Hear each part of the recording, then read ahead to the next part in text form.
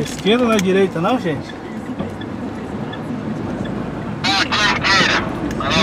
Tá certo, tá certo. É. Depois de várias horas caminhando é, de carro aqui com uma equipe de geólogos, agora a gente está chegando próximo ao córrego aonde foi afetado aqui. Em um lugar que todo devastado. E aí começa o documentário aonde eu vou mostrar para vocês uma verdadeira aventura incrível.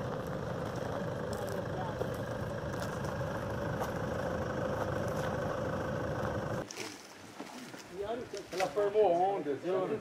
E foi descendo. Formou ondas aqui. Olha pra você ver, ela veio aqui ali. Dá pra ver pela, pela forma como ela atingiu. Começando a baixar. Ele foi ainda foi produzindo até passar ali, ele foi espremendo. espremendo.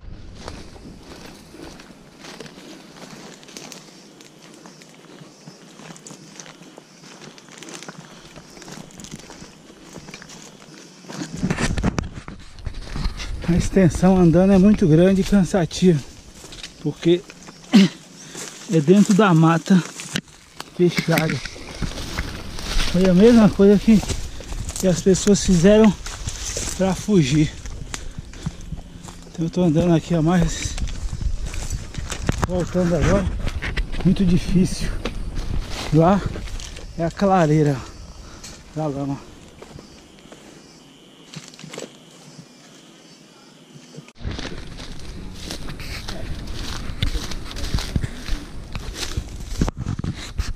Caminhada é de mais de duas horas, pessoal.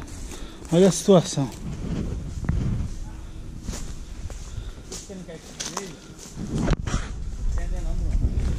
Então, vamos tentando chegar a outro ponto da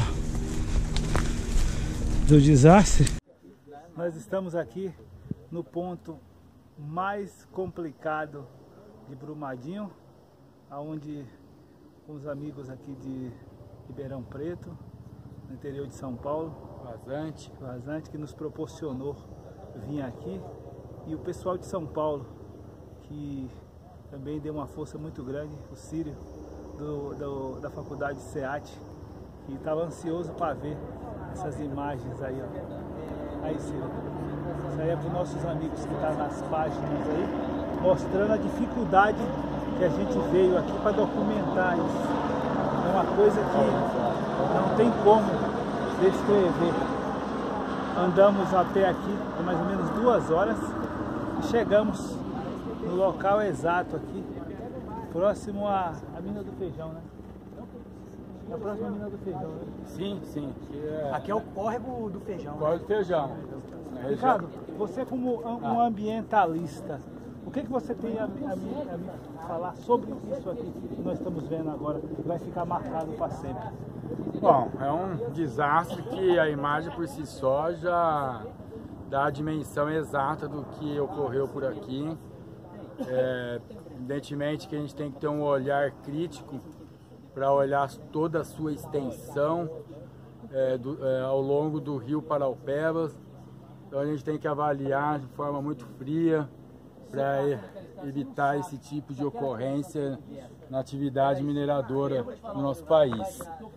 Importante a gente deixar a nossa mensagem de que toda atividade de mineração com barragem de rejeito requer planos específicos de atendimento à emergência e de sistemas de contingência que tenham eficiência. Cara, se essa lama. Onde a lama veio? Ela veio até aqui. Ali, ó. Imagina. Não, aqui. Reinaldo, na hora que esse trem veio, isso daqui deve ter virado um rio, dessa altura aqui, ó. Olha o tamanho dessas árvores, gente. É material demais, gente. Meu Deus.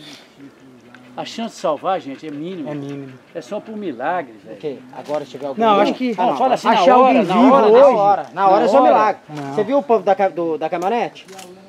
Ah, eu vi o vídeo, o vídeo, né? Ele tentou escapar, tentou escapar, tentou escapar, não deu. A onda veio, moeu ele. E você viu a sorte não, do destino? Aí o que, que aconteceu? Ele, ba ele bateu no vagão. O vagão entrou. Pode é, falar com certeza. Ela formou ondas, viu? E foi descendo. Formou ondas aqui. Olha pra você ver, ela veio aqui ali, Dá pra ver pela, pela forma como ela atingiu. começando a baixar. Ele foi ainda foi produzindo até passar ele foi espremendo. E árvore aqui. Quem é caminhão, tudo bem, tira. Mas demora quantos minutos? Vai tirar pra onde? Primeiro, tirar e põe algum lugar. Pessoal, é um, é um dos Aqui dá pra ir continuando ali até quão forte foi essa lama que desceu aqui. Imagina onde tá Olha as árvores. Olha o tanto de árvore derrubada. Uma força que é difícil até de se medir. Vocês que deviam andar A gente viu aqui direto nessa mata aí, alguma dentro da lama. A gente viu muita coisa. Realmente é um cenário muito, muito triste. veio lama. Agora você imagina na hora. Os caras da hora. Não, não tava em Belo Horizonte. Os caras, eu cheguei